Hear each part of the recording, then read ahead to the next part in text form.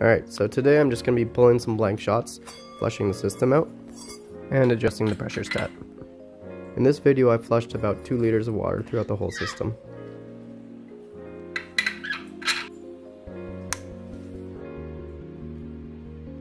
As it heated up, I realized I forgot to put some Teflon tape on the pressure gauge, so I took it apart, redid that, and once I did that, everything was fine, there's no more leaks. So I'm flushing the system out right now. All the water coming out looks nice and clean, which is exactly what I'm looking for. Alright, so I have the Elektra turn on its side here.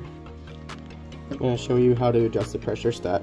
So this little box here, that's the pressure stat. It has a little tube that connects straight to the brew boiler which goes into this little box and cylinder here, which has a little di rubber diaphragm. That rubber diaphragm moves in and out the amount of pressure going through, which in change goes to this little screw here and makes it so that your heater element will turn off, allowing the boiler to cool. And then it'll turn back on once the boiler goes down below a certain pressure. If you screw this down, it's going to require more pressure for your heater element to disengage. If you unscrew it, you're going to require less pressure for the heater element to disengage. Right now, I have it set to turn off at about 1.25 bar, which is exactly where I want it.